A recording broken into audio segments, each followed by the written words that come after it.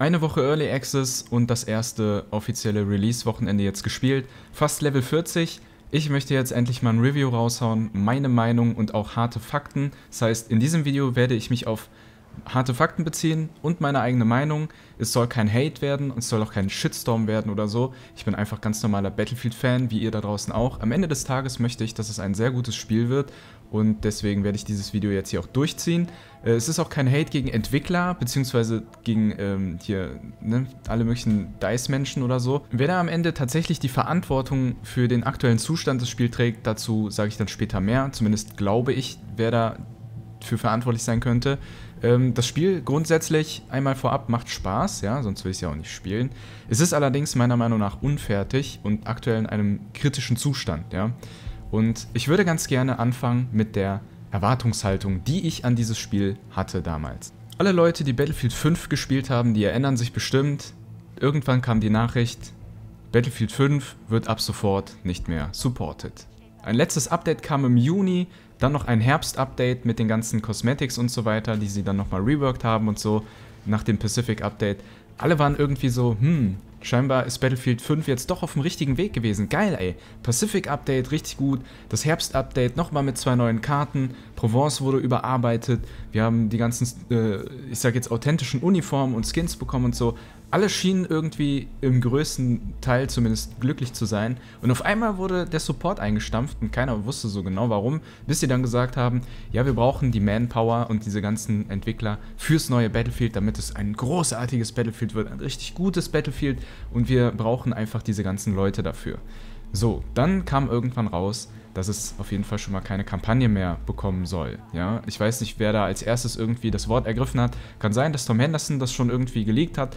Irgendwann wurde es ja auch offiziell und dann habe ich mir gedacht, okay, krass, wenn es keine Kampagne gibt, dann muss dieses Spiel ja im Fokus auf den Multiplayer richtig abliefern, weil wir haben einfach keine Ressourcen, die für eine Kampagne genutzt werden, sondern alles bezieht sich so mehr oder weniger auf Multiplayer und Multiplayer-Modis, wie jetzt zum Beispiel dann auch Hazard Zone und Portal. Und dann kam der dritte Punkt, bei dem ich gedacht habe, krass, das Spiel wird richtig geil. Ähm, drei große Studios arbeiten da dran, beziehungsweise es gab auch noch mehr Studios, die dann irgendwie kleinere Auftritte bei der ganzen Sache hatten. Man kann das ja mehr oder weniger auf der Internetseite bei denen noch sehen, wer alles da involviert war.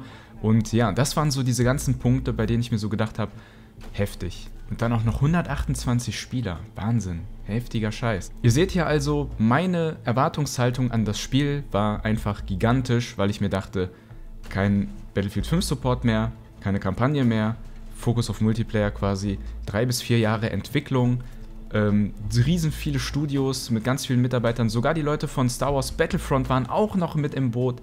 Das war meine Erwartungshaltung an das Battlefield und dann ging es weiter mit der Ankündigung bzw. mit Ankündigungen und Marketing. We don't want to wait until next June to share what the teams are working on.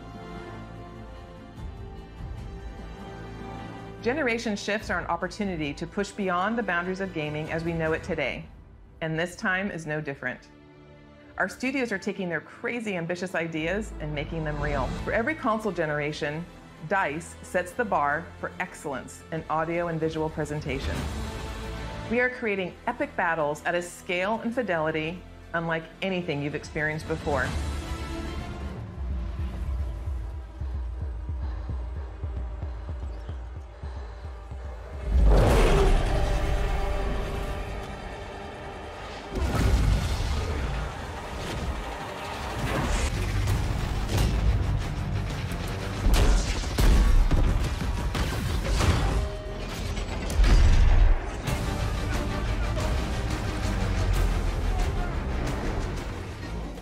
Ich meine, wir haben alle diese Trailer gesehen und wir wissen auch, dass DICE diese Trailer richtig geil hinbekommt und die auch immer ultra bombastisch gut aussehen. Mega gut sogar. Und alle waren geflasht, alle waren gehypt, so diese ganzen Zweifel, die dann alle wegen Battlefield 5 auch hatten und so. Es gab viele Leute, die gesagt haben, dass ihre ich sage jetzt mal, Erwartungshaltung immer noch sehr niedrig war und sie gesagt haben, ich bleibe lieber skeptisch. Ich habe immer wieder in den Kommentaren unter meinen Videos gelesen, dass Leute von euch da draußen gesagt haben, ich warte lieber ab, nicht, dass das wieder eine Katastrophe wird und so weiter. Und deshalb habe ich mir auch gedacht, ja, schon, man versucht sich so ein bisschen im Zaum zu halten, aber nachdem man diese ganzen Trailer gesehen hat, das war jetzt so ein Mini-Ausschnitt von allem, äh, war man trotzdem gehypt, man war trotzdem geflasht. Man hat das alles gesehen und dachte sich, dieses Spiel wird einfach gigantisch sein. Das wird riesig sein. Es wird richtig gut sein. Mit Sicherheit wird es richtig gut sein. Und dann, äh, ja, kam quasi die Beta raus. Da hat man dann so ein bisschen gemerkt, okay, ähm, grundsätzlich spielt es sich ganz gut. Spezialisten mag nicht jeder. Ich muss ganz ehrlich sagen, ich bin da jetzt nicht so der Feind von in dem Sinne. Klar, mit Klassen wäre es natürlich noch geiler, das sage ich auf jeden Fall ganz ehrlich. Mit Klassensystem und klassengelockten ähm, Gadgets zum Beispiel auch und Waffen fände ich dieses Spiel auch besser. Ist jetzt nicht so dramatisch für mich persönlich. Am Ende des Tages ist es halt ein Shooter-Game, das ich dann spiele. Ähm, aber in dem Zustand, in dem es dann jetzt rauskam, da muss ich ganz ehrlich sagen, ähm, habe ich jetzt, nachdem wir Battlefield 5 komplett durchgehabt haben, von Anfang bis Ende gar nicht mit gerechnet. Hey, but for a game that's just launched, check out the store. I mean, you talk about content.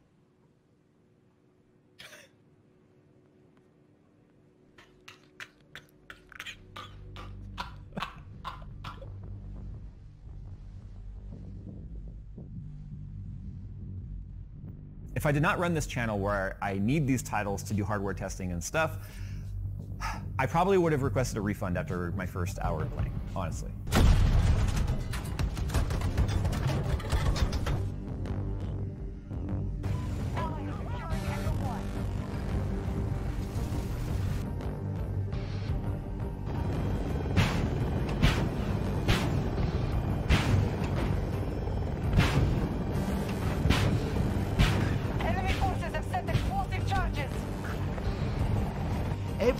This game is a completely glitchy catastrophe. There is already over 1,400 reported errors in the game itself. The amount of bugs that are still in it, the fact that I don't think DLSS is working off and on on ultra performance makes no difference in the FPS, and that's never been the case with any DLSS title we've ever played or tested around here.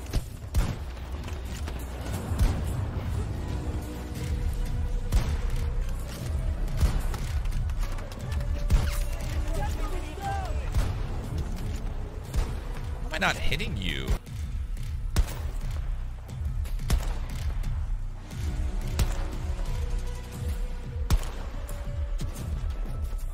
No.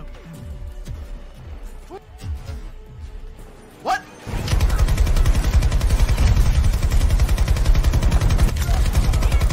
I think there's a tons of features in the game that are broken. I feel like the balance is completely off. I feel like DICE literally phoned this one. One, four, yeah, all yours is said. Wait, what? All yours said. I'm I'm at a loss at how terrible and I haven't even got to how terrible the launch is. I've had three crashes in the past fucking 20 minutes.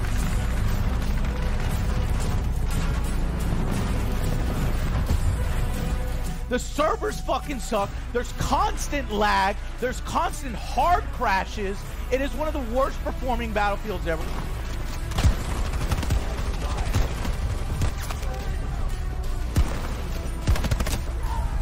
Extremely disappointed in the way Portal's implemented and the limitation on servers and the fact that you can get all excited and get friends online and you can't even create a server. Because it's fucking impossible if you try to get two squads together to play with each other. They get bumped out of the goddamn matches. The stars have to fucking align in order for you to play with more than three friends in a game that is 128 players.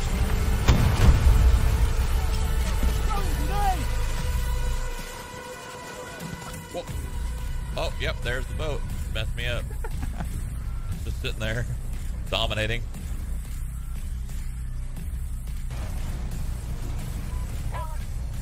Interface sucks.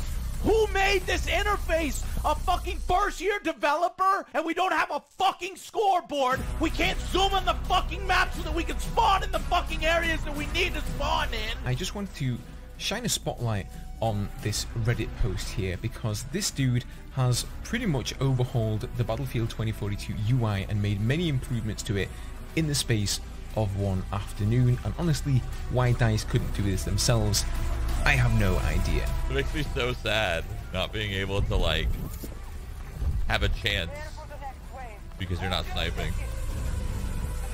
Well, we won, I guess.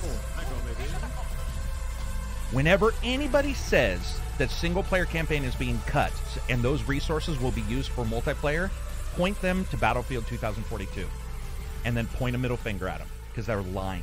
that is not how resources work. It feels like we were lied to when the single player part was cut and the multiplayer Right. part was Right. cut or something, you know, like they didn't have the money.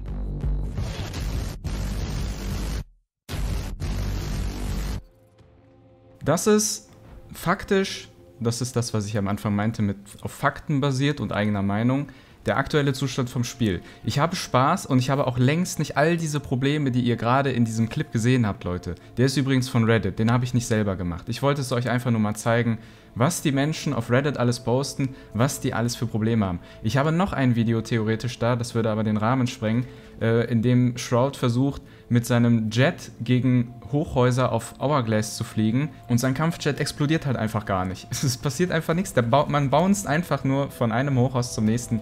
Eines davon hat irgendwie geklappt, das hatte die richtige äh, Entwicklungsphase durchgemacht und dann ist sein Jet auch explodiert, aber das ist halt der Zustand, ne? Und wie gesagt, ich habe längst nicht all diese Probleme und ich habe auch Spaß insgesamt beim Spielen. Aber diese spaßigen Momente werden immer seltener, beziehungsweise sind selten und werden oft von frustrierenden Momenten überschattet, in denen dann irgendeiner mit dem Hovercraft oder so vorbeikommt. Das sind alles Balance-Probleme, das juckt mich auch gar nicht, weil ich mir denke, dass das irgendwann alles gefixt wird. Also klar, natürlich juckt es mich, das ist die falsche Aussage gerade gewesen, aber es ist halt nichts mega gravierendes, weil es war von Anfang an klar, dass es Balance-Probleme geben wird.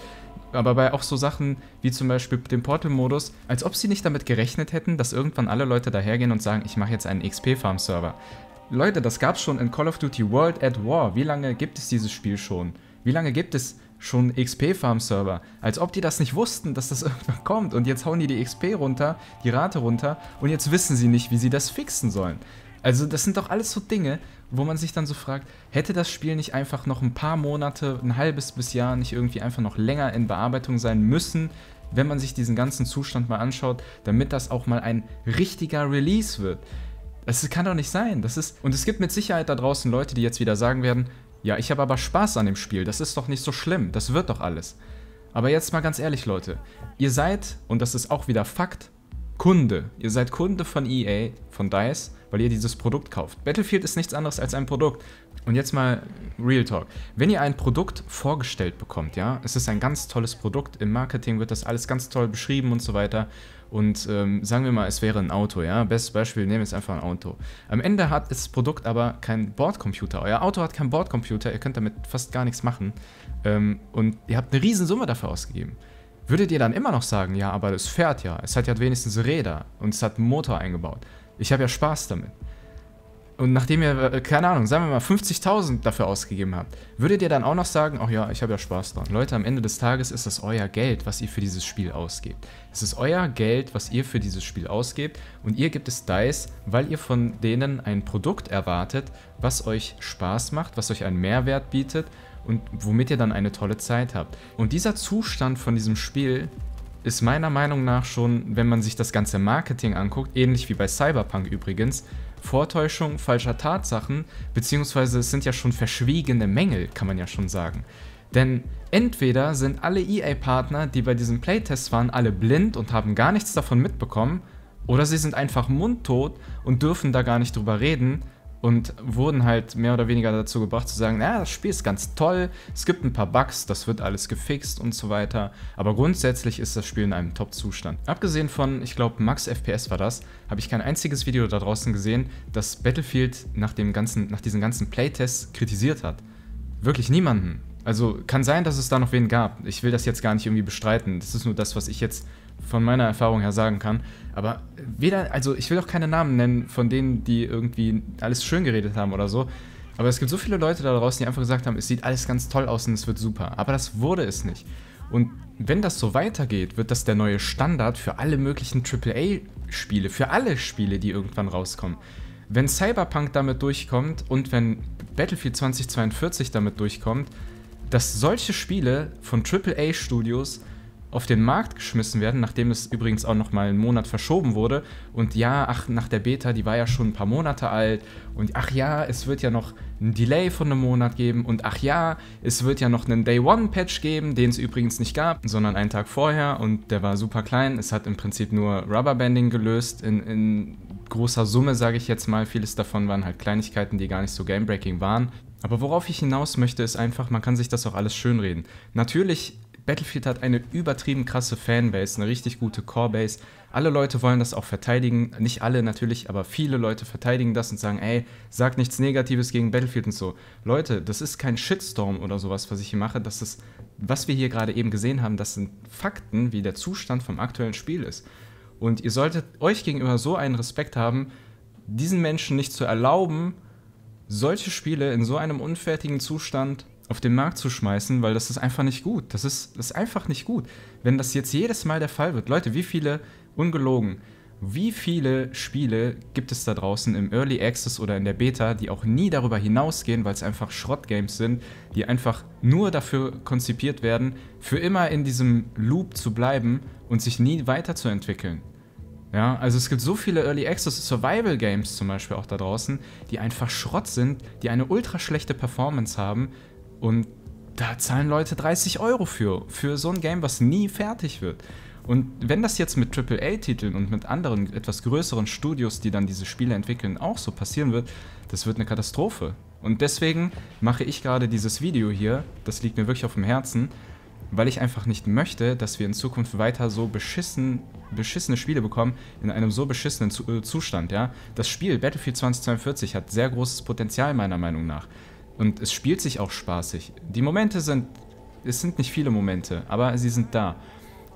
Aber das darf so nicht weitergehen. Also, das darf nicht der neue Maßstab dafür sein, dass ein Spiel Live-Service bekommt für mehrere Jahre und dieser Live-Service quasi beinhaltet, dass wir hingehen und sagen, ja, wir fixen während dem Live-Service halt einfach die Bugs und die Probleme und adden Features, die eigentlich das Spiel von Anfang an haben sollte, wie ein Scoreboard, das fehlt, wie dass man Leute irgendwie scheinbar nicht richtig reviven kann. Und jetzt mal ganz ehrlich, es ist ein Shooter-Game. Es ist ein Shooter-Game und was funktioniert in einem Shooter-Game bei Release nicht, bei diesem Battlefield? Das Schießen. Das Schießen funktioniert nicht, denn es ist einfach komplett verbuggt und es hat Blu Waffenblumen in, in keine Ahnung was für einem Ausmaß.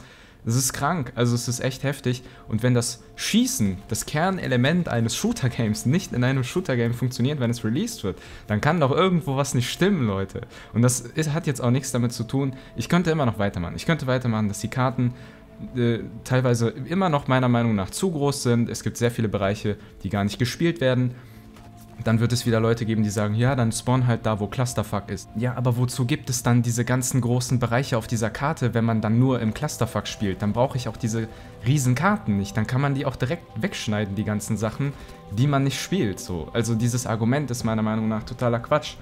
Aber gut, ich meine, im Endeffekt ist das auch wieder das Verteidigen des Spiels. Ich kann das verstehen, wenn man einfach blind das Spiel spielen möchte und sagt, ich habe Spaß, alles, was dagegen negativ irgendwie gesagt wird, ist scheiße, alles klar, dann spiel dein Spiel und bleib in deinem in deiner Bubble und gut ist so. Aber ich persönlich bin mit dem Zustand dieses Spiels einfach nicht zufrieden und deswegen mache ich dieses Video. Ich möchte einfach nicht, dass das Standard wird. Und ja, am Ende des Tages noch ein Abschluss dazu. Nicht die Entwickler sind schuld, meiner Meinung nach, denn die sind sehr passioniert, was das Ganze angeht und ich glaube, sie haben auch richtig Bock darauf, das alles zu machen, sondern ich glaube, dass es da oben auch wieder, und das habe ich sogar bei Battlefield 5 schon alles gesagt, äh, Manager gibt, die halt einfach die schönen Quartalszahlen sehen wollen, den, die sie dann den Investoren vorzeigen können und sagen können, ey Leute, guck mal, Alter, Battlefield 2042 hat über so und so viele Male verkauft, das Spiel ist einfach so eine krasse Cash-Cow, FIFA ist ein Witz dagegen, natürlich kann man das nicht mit FIFA vergleichen, FIFA wird wahrscheinlich noch krasser sein, aber ne, ihr wisst, worauf ich hinaus will. Die Leute interessiert es nicht, was die Spieler wollen. Die Leute interessiert es auch nicht, äh, was die Entwickler den Spielern bieten wollen. Das interessiert die alles gar nicht. Ich glaube, dass die Leute, diese Manager da oben, wer auch immer dafür zuständig ist, hingehen und sagen, Leute, bis dahin muss das Spiel raus sein. Ihr schafft das nicht, okay, ihr habt gesagt, ihr wollt das Spiel im Oktober rausbringen. Naja, solange es vom Weihnachtsgeschäft ist, dann macht es halt im November, ist mir auch egal. Aber es muss dieses Jahr raus. Egal in was für einem Zustand. Dann seid ihr halt selber schuld, weil ihr es nicht hinbekommen. Was für ein Druck hinter dieser ganzen Geschichte aufgebaut wird, bezogen auf die Entwickler, will ich mir gar nicht vorstellen. Also sollte man sich vielleicht vorstellen, weil es auch wichtig ist, denn wenn ich lese, dass Entwickler teilweise Morddrohungen bekommen, denke ich mir auch, was läuft falsch auf dieser Welt. Die sind die Letzten, die da irgendwas für können, denn wenn es nach denen ginge, würde das Spiel wahrscheinlich zehn Jahre in Entwicklung sein, damit es perfekt wird. Ähm, ja, genauso ist es wahrscheinlich auch mit Cyberpunk gewesen. Das ist zumindest mein mein Gedanke an der ganzen Sache und ich glaube auch tatsächlich, dass das so ist. Ich kann mir nicht vorstellen, dass die Entwickler sowas absichtlich machen. Die wollen am Ende, dass wir alle Spaß haben, sie selber auch, sonst würden sie ja nicht in diesem Studio oder für dieses Studio arbeiten. Und ja, Ne? Deswegen, Leute, ich könnte immer weiter quatschen. Das Spiel hat Potenzial, das habe ich bei Battlefield 5 damals schon gesagt. Ich hoffe wirklich, dass sie es jetzt schaffen, rechtzeitig einige Patches rauszuhauen, die viele Sachen fixen und vielleicht auch, dass sie sich ein bisschen Gedanken mal darüber machen, ob man die Karten nicht teilweise auch mal zuschneidet und gewisse Dinge einfach mal rausschmeißt, ohne jetzt irgendwie Hate dafür zu bekommen oder so. Oder von mir aus auch eine 64er äh, Karte zu machen, wo man nur 32 gegen 32 auf kleineren Maps spielt, zumindest auch für Next Gen und PC. Ähm, nicht nur für Old Gen, weil ich glaube, dass das meiner Meinung nach auch eine schönere Spielerfahrung ist, als wenn es so riesen Karten sind, wo man einen Running Simulator hat und ewig rumlaufen muss, damit man irgendwie von A nach B kommt. Ähm, aber das ist alles nur meine Meinung. Ja? Ihr müsst das nicht teilen, ihr müsst das nicht unterstützen. Ihr könnt mir aber trotzdem gerne mal in die Kommentare schreiben, was eure Meinung dazu ist es kann den einen oder anderen geben, der jetzt sagt, ach, der soll seine Schnauze halten, der labert eh nur Bullshit. Von mir aus ist mir egal. Ich habe gesagt, was ich sagen möchte und ich möchte, dass ihr ein ordentliches Produkt da draußen bekommt und nicht nur ihr, sondern ich auch, denn ich bezahle im Endeffekt auch dafür und deswegen wollte ich das unbedingt machen. Ich hoffe trotzdem, dass euch das Video gefallen hat und natürlich werden wir Battlefield 2042 weiterhin auch spielen. Ich werde auch weiterhin Videos dazu machen. Ich bin Battlefield-Fan, ganz klar, das wird auch immer, das wird auch so bleiben aber ich möchte trotzdem weiterhin kritisch sein. Ja? Und in diesem Sinne sage ich, wir sehen uns beim nächsten Mal, Freunde. Der Stream fällt heute leider übrigens aus. Ich bin heute Abend auf einem Event. Da kann ich leider nicht. Ich habe es gestern auch nicht mehr geschafft zu streamen. Tut mir leid auf jeden Fall an der Stelle, aber es wird auf jeden Fall nachgeholt. Ich gucke mal in dieser Woche, wie ich das hinbekomme. Vielleicht kriegen wir irgendwo noch einen dritten Stream abends unter. Ich schaue mal, wie es, wie es klappt. Ich werde euch auf dem Laufenden halten. Wir sehen uns. Macht's gut. Bis dann und rein und ciao, ciao.